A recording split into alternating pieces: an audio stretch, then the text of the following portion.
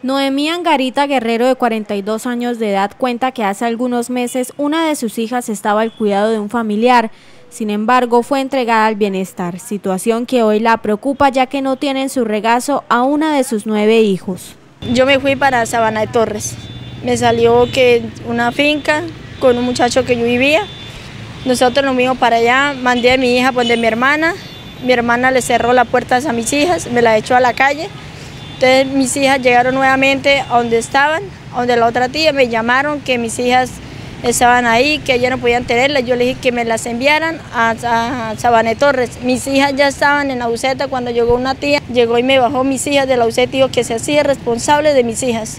La mujer asegura que se ha acercado a las instalaciones del bienestar familiar para que le entreguen a su hija, sin embargo la respuesta es negativa debido a que no cuenta con trabajo estable ni vivienda propia.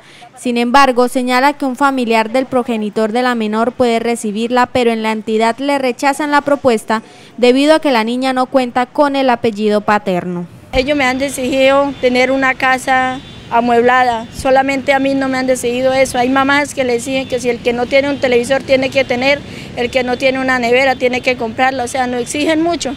Entonces, la verdad yo no tengo para amueblar una casa, no tengo cómo tener un techo, pago un arriendo con mi trabajo, yo soy vendedora de ambulante, de limón, de frutas, entonces ellos dicen que ese, trabajo no es garantizado. Noemí Angarita hace el llamado al bienestar familiar y los entes correspondientes para que la puedan orientar y así tener en su poder a su hija de 7 años, ya que se encuentra en estado de embarazo y esta situación la queja por la complejidad del mismo. Pues lo que nos ayude como madres, cabeza de hogar, porque hay mujeres que salimos desplazadas a una ciudad a buscar un futuro y por desgracia pues nuestros hijos caen a un bienestar y ellos nos arrebatan a nuestros hijos como si fueran animales, no somos escuchados por ningún gobierno y la verdad pues, o sea, yo quisiera que esto llegara a oídos de, de las personas del pueblo que compartieran este video,